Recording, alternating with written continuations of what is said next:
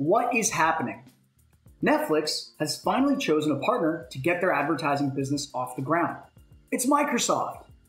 Microsoft will be responsible for the technology used to run ads on Netflix, which means ad serving and monetization, and their teams will be responsible for selling and servicing ad campaigns on Netflix. Netflix was reportedly considering Comcast and Google too, but ultimately went with Microsoft. Now remember, Microsoft recently closed the deal to acquire Xandr from AT&T, which was formerly known as AppNexus. If they hadn't done that deal, they wouldn't be in this position in the first place.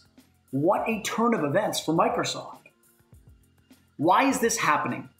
Many industry folks were very surprised that Microsoft won this business. Because Microsoft is new-ish to ad tech with their acquisition of Xandr, and Xandr isn't really known to have let's say, the best capabilities when it comes to ad serving and monetization. So why Microsoft? For starters, Microsoft does not own any competitive streaming service to Netflix, whereas Google owns YouTube and Comcast owns Peacock. Also, Microsoft presents Netflix with an interesting strategic growth opportunity around gaming with their Xbox platform and their recent acquisition of Blizzard Activision. Netflix has been working on a gaming offering in recent months, so this makes a lot of sense.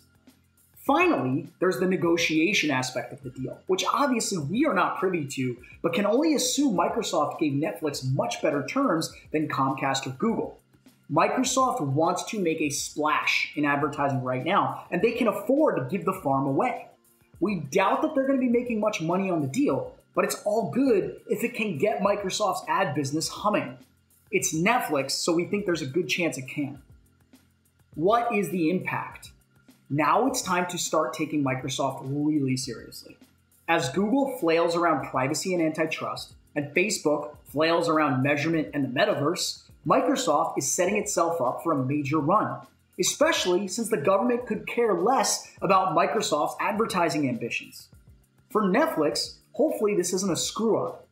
Their needs are less around demand generation. They will sell out their inventory regardless of who is doing the selling. Their needs are solid tech that makes the ad experience really seamless for their users. Can Microsoft fulfill that need? Maybe, but there's some uncertainty there. The bottom line ads are coming to Netflix soon, and Microsoft is in the driver's seat.